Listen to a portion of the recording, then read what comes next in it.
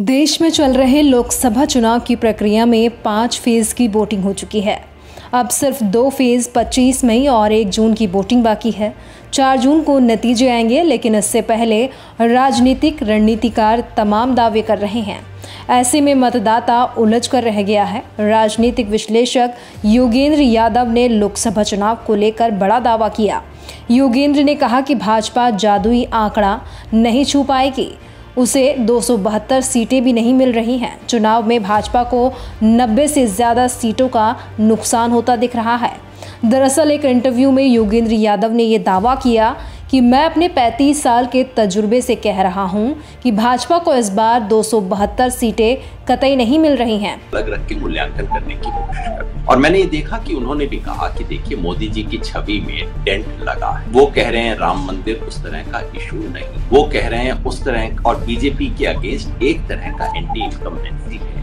लेकिन बीजेपी की सीट 303 से बढ़ेगी। ये बात तर्कसंगत नहीं लगती, लेकिन वो इसका योगेंद्र यादव ने एक अन्य चुनावी रणनीतिकार प्रशांत किशोर के दावों का भी ज़िक्र किया।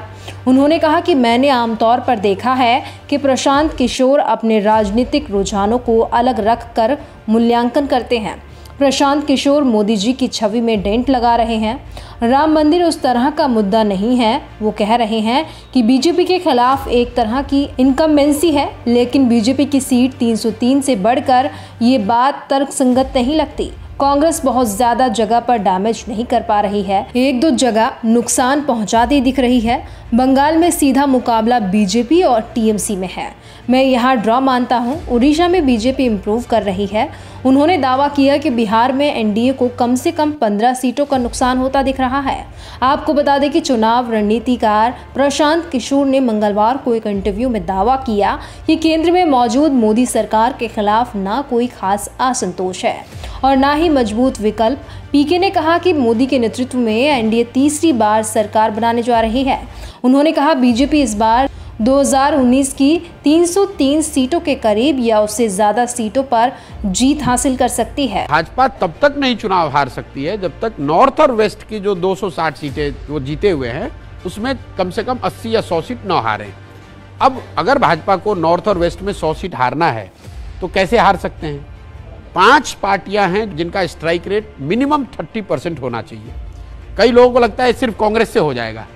ऐसी बात नहीं है। कांग्रेस और भाजपा का जो मुकाबला है, वो समझो 250 सीटों पर है इंक्लूडिंग साउथ वहीं हम विपक्षी पार्टियों की बात करें तो सपा अध्यक्ष अखिलेश यादव ने कहा कि देश की कुल सीटों पर बीजेपी केवल 143 सीटें जीत अध्यक्ष अखिलेश यादव ने कहा कि देश की कुल सीटों में बीजेपी केवल 143 सीटें जीत रही है।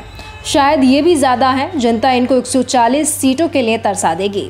कांग्रेस अध्यक्ष मल्लिकार्जुन खड़गे ने कहा कि यदि भाजपा 400 पार बोल रही है तो ऐसा मुमकिन नहीं है। अगर ऐसा हुआ तो समझिए कुछ गड़बड़ है। इनकी 200 से ज़्यादा सीटें नहीं आ रही। वहीं अंतरिम जमानत पर बाहर चल रहे सीएम अरविंद केजरीवाल का कहना है कि जैसे जैसे पाँचवें चरण का चुनाव पूरा हो चुका है वैसे वैसे साफ़ हो चुका है कि मोदी सरकार जा रही है और इंडिया गठबंधन की सरकार आ रही है।